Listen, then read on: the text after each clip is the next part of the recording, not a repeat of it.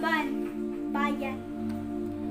Isa, dalawa, tatlo. Bilang ko sa mga tao na nasa paligid ko, aba ang dami. Ang tanging sambit ko sa aking sarili. Nagsiksikan, nagtutulakan, ang iba'y tumatawa.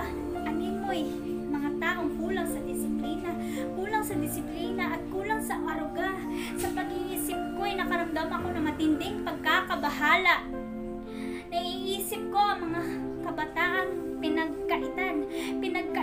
Karapatan, binawian ng kaligayahan. Sila na sana'y nasa paralan ay namamalimos. Pakalat-kalat sa lansangan, mga pamilyang naghihirap, hindi makita, malabo ang magandang hinaharap.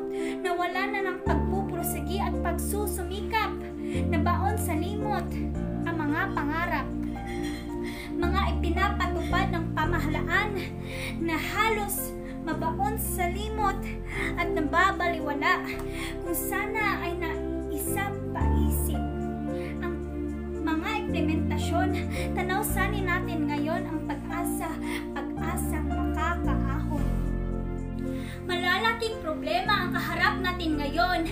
Kasali na dito ang labis na populasyon, lalo na at mahirap ang ating panahon, kaya kailangan na nating umaksyon. Labanan natin ang kahirapan,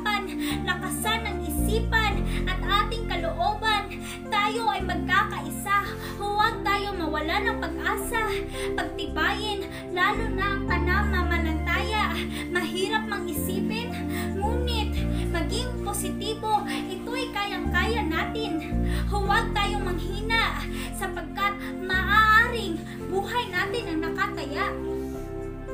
Tayo ay mga Pilipino, likas na may pagpupursige at may angking talino. Kahirapan ay ating labanan para sa magandang kinabukasan ng ating bayan. Kaya bayan, laban.